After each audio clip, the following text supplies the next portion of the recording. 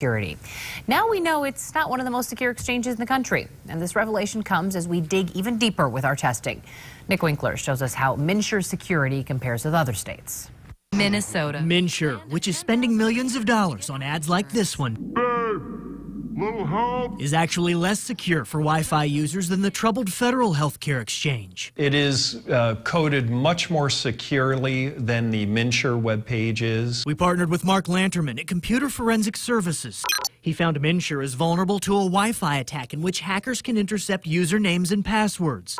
MNsure denies it has a problem and blames users. So, to see how MNsure stacks up against other state run exchanges, Lanterman tested at least a dozen. 41% passed the test, meaning they are not vulnerable to the Wi Fi attack. They include Kentucky, Rhode Island, Massachusetts, California, and Vermont. Like MNsure, 58% failed, meaning they are vulnerable. They include Maryland, Colorado, D.C., Hawaii, Nevada, New Mexico, and New York. Well, I think it just goes to show that everyone has room for improvement. Right now, Akamai servers appear to be hosting the Federal Exchange, which is now running better. But for a time, the Federal Exchange appeared to be hosted by Google. Yeah, Google Map for sure. What do you use Google for?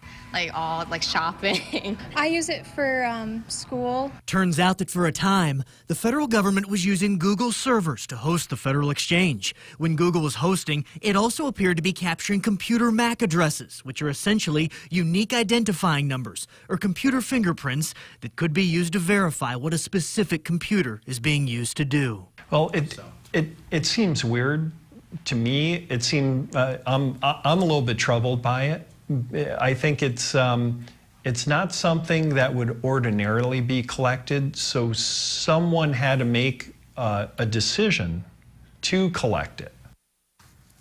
And we've reached out to Google repeatedly. We want to know why it was collecting MAC addresses, how it plans to use that information, and how long it plans to store it. But thus far, Google has not been willing to speak with us about this matter. Leah? Uh, how about the federal government? Any response from them? Initially, they directed us to a blog post that answered none of our questions. Afterward, when I pressed them further, they simply stopped talking to me. This is not something they want to talk about. All right, Nick, thank you. Well, uh, you can see the latest in a series of stories that Nick has done about your security online as well as MNsure.